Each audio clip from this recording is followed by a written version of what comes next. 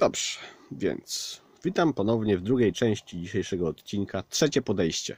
Jak ja to lubię, normalnie na szczęście jest niedziela i teoretycznie mam dzień wolny. E, Tutaj zaczniemy od czegoś nowszego, nowego, bo tutaj mam taką usługę w sklepie darmową w zasadzie dla klientów. Przynieś swój szajs, to ci go sprzedam. No i przynoszą, przynoszą swój szajs, to im sprzedaję. I pan przyniósł fajne kurtki. I pan powiedział, że chce za nie po 15 funtów, ale stwierdziłem, dobra, słuchaj, ja je sprzedam, pewnie, ta, ta pewnie pójdzie za 7 dych, ta pewnie pójdzie powyżej 100, bo to dobra firma niemiecka. Niemiecka. Dobra. Ale mówię, sprzedamy to, podzielimy się zyskiem pół na pół. Dobra, fajnie. E, czyli to taka, tak się chwalę nową usługą, prawda? Tutaj mamy, y, dzisiaj sprzedały się właśnie buty Musto. Dlaczego chciałem o nich wspomnieć? Y, To firma generalnie jest bardzo, powiedziałbym, ekstremalnie droga. Nie bardzo rozumiem dlaczego. Mają takiej normalnej jakości ciuchy. Nawet ciekawy design, ale powiedziałbym, pomijając, że otworzyli sklep u mnie w okolicy, w miejscu, gdzie była wcześniej Columbia, Columbia, jak to tam ten nazywa, outdoorowy sprzęt, to są bardzo podobni, tylko że ceny mają 6 razy wyższe sprzedały się, kupiłem za nie, zapłaciłem za nie piątkę, sprzedały się oferta za trzy dychy, dzisiaj przyjąłem. Przepraszam, coś mi nie, nie weszło. Do tego wrócimy, od końca polecimy na tym koncie. Monety, jak kupujecie w całych woreczkach, yy, po kilka sztuk nie, niecyrkulowane, to się opłaca taką aukcję wystawiać. Ja monety nawet lubię, mam klientów na monety i tutaj klient przyszedł, zapłacił za inne monety monetami, więc tak jakbym dostał pieniądze poza, poza obiegiem, z pieniędzy z obiegu, coś tutaj nie gra, ale okazuje się, że da się. Więc y, tutaj ktoś zarobił sobie ładnie, bo y, tutaj sprzedałem za 50 funtów sap- saperkę, którą kupiłem u siebie w sklepie za dychę, ale jak ją pakowałem, okazało się, że to jest saperka niemiecka, czyli ona jest pewnie warta powyżej grubo powyżej 100 i pojechała do Stanów, o ile się nie mylę. Jeden bit. To moja wina, bo nie zrobiłem researchu, y, więc tak bije się w piersi. Jak najbardziej ja dałem ciała. Ale cieszymy się, że jest zadowolony klient, prawda? Monety pozłacane z jakimiś pierdółkami typu malowane flagi, malowane postacie. Nie moja, mm, że tak to ujmę, ale y, tutaj y, dyszka, jeden bit, ładny zarobek, zapłaciłem za nie funta, miałem takie dwie, poszły y, w odstępie chyba kilku tygodni. Eee, Skagen. Marka, którą kiedyś chciałem sobie koniecznie kupić zegarek Skagena, mm, ale wtedy nie interesowałem się jeszcze horologiem. Tak, trudny wyraz, może wyjaśnię. Albo wyjaśnię od razu. To jest nauka o zegarkach i nie tylko, wszystko co jest związane z czasomierzami. Obszerny temat, są na ten temat kanały. E, Polecam TikTok, e, polski kanał. e, Tam taki fajny pro- prowadzi na temat zegarków. Dość dużo wie, dość dużo mówi. Lubię, oglądam. Tak, reklama dla innego kanału, brawo. Ja ma dużo subskrybentów, ale mu podrzucimy jeszcze jednego. Tutaj tak, następna rzecz. E, Sketchersy, tak, sprzedają się w miarę szybko. To są nie jedne, ale nie chciałem wszystkich pokazać, bo to by filmy miały po 20 minut. Mam tych sprzedaży więcej niż tu jest pokazane. Możecie moje konta wejść, zobaczyć. Tu są nazwy. O, tu jest jedna nazwa mojego konta. I druga nazwa to jest 20, 23 kreska company. Tak po angielsku, no bo w Anglii mieszkamy. Eee, Primark. Tu się zdziwiłem kupując tą kamizelkę, bo kupiłem ją patrząc na jakość, nie patrzyłem na firmę. Przechodziłem, mówię, o mój rozmiar, fajna jakość, biorę. Okazało się później, że Primark. Nie dlatego ją sprzedaję, że Primark, tylko dlatego ją sprzedaję, że stwierdziłem, że takich kamizelek w zasadzie nie noszę.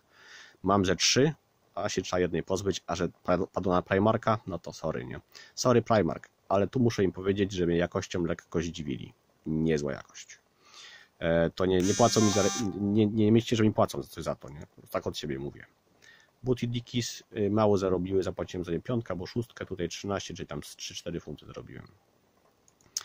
Pozdrowienia dla pana Szymona. Moneta kupiona od niego za chyba piątkę, czy 5,50. Kolejna już, piąta, sprzedana za dyszkę. Y, y, Czyli ja tutaj zarabiam niewiele, bo pewnie funta albo dwa może. Więc wszyscy na tym zyskali. E, Adidas Ultra Bust e, to są buty, które z reguły się sprzedają szybko, bo to jest ten, e, te Ultra Busty to są te chyba najnowsze w sensie ich systemy, czyli czytaj podeszwa z pianki, ale jak się nazwie podeszwie z pianki Ultra Bust to już jest inna sytuacja, nie? Sprzedają się dobrze. Banknoty brytyjskie mm, pozaobiegowe e, w dobrym stanie, tutaj proszę, 4 funty plus funt wysyłka i nikt nawet nie ma ludzi, to już jest chyba z dziesiąty banknot, który sprzedaje angielski, więc patrzcie na banknoty angielskie, szczególnie jakbyście znaleźli plik poza cyrkulacją, och, to już co najmniej dychę za sztukę trzeba wtedy wołać. Ostatnia rzecz, którą już widzieliście, przelotem, tak, popielniczka z PKP. To nie tak, że wjechałem do PKP wymontowałem i sprzedaję. To już są z pociągów, które zostały wycofane z produkcji. Mam taką nadzieję. Tak mi mówili, jak mi sprzedawali. Więc e, ta popielniczka e, poszła za 20 funtów, przyjąłem ofertę. To jest walnąłem tak ni z gruchu, ni z pietruchy cenę, bo nie było innej popielniczki PKP. Nikt nie wpadł na to, że coś takiego głupiego można sprzedawać. Mam jeszcze rolki papieru toaletowego z PKP. Szukajcie na moich aukcjach. Więc tak, można wszystko słuchać na, na eBayu. I teraz tak, y, chciałem mówić jeszcze jedną rzecz, tutaj, którą mi naruszył pan Grzesiu, który dzisiaj był, przywiózł mi łyżki. I pan Grzesiu mówił, y, o co chodzi, dlaczego ktoś sprzedaje rzeczy na eBayu po kosztach. Już tłumaczę. Są dwie albo więcej szkół, dwie, które takie są najbardziej rozsądne, które mi przychodzą do głowy, to już mówię. Pierwsza to jest taka, że mm, konto można sprzedać E, w sensie są firmy, które skupują konta z wysokim logarytmem, czyli jeżeli masz załóżmy 10 tysięcy sprzedaży, ani jednego negatywa i sprzedaż jest regularna, w sensie w tygodniu sprzedajesz załóżmy 30-100 sztuk, konto jest wysoko lokowane i wtedy e, takie konto możesz za kilkanaście, kilkadziesiąt tysięcy funtów sprzedać. Jeżeli Chińczykiem jest, Chińczyk jest właścicielem, tudzież Azjata, przepraszam, ale tak to mniej więcej wygląda, tak działają mniej więcej Azjaci, e, jeżeli robią konta pod sprzedaż, E, to, bo oni mają dostęp do tanich produktów, taniej wysyłki i im to najłatwiej jest zrobić, to taka kwota rzędu 5-10 tysięcy funtów plus zwrot kosztów w zasadzie, tylko są koszty załóżmy letnie, dwuletnie, trzyletnie, to się opłaca dla kogoś, kto pracuje za 5 dolców dziennie, nie?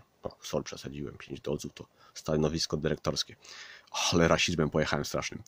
E, przepraszam. E, a druga opcja jest taka, że jeżeli masz takie konto, sprzedajesz coś po kosztach i masz załóżmy 10 tysięcy czy tam 5 tysięcy e, ludzi, którzy powiedzieli tak, produkt dobry, dobry serwis, szybka wysyłka, to później jak wprowadzasz jakikolwiek inny produkt, już nie musi być taki tani, taki dobry, z dużą marżą, to Twoje konto jest pozycjonowane, wysoko, co oznacza, że produkt automatycznie przez to konto wskoczy wysoko czyli sprzedajesz pędzelki, tak jak tu pan Grzesiu dzisiaj mówił, a tu nagle wchodzisz, nie wiem, z wałkami do malowania, które mają załóżmy prowizję 3000%. Ty na tym zarabiasz. No i się biznes kręci w ten sposób.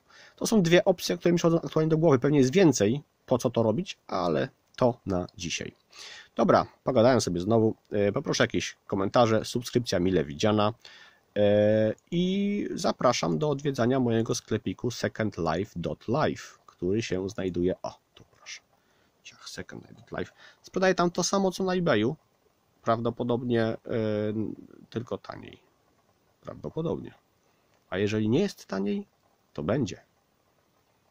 Smycze tutaj też są od mojego dobrego kolegi, które są bardzo tanio, dobrej jakości i mają jedyny patent na świecie na specjalne tu łączenie, które nie denerwuje przy noszeniu.